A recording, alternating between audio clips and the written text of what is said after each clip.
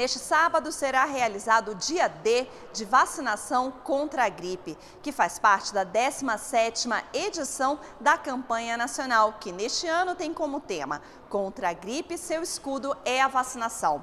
A mobilização nacional, que conta com a parceria das secretarias estaduais e municipais de saúde, tem o objetivo de vacinar mais pessoas. Até o dia 22 de maio, a meta do Ministério da Saúde é imunizar cerca de 40 milhões de pessoas. O público-alvo é formado por crianças de 6 meses a menores de 5 anos, pessoas com 60 anos ou mais de idade, gestantes, mulheres com até 45 dias após o parto, povos indígenas, trabalhadores da área de saúde, presidiários e também funcionários do sistema prisional.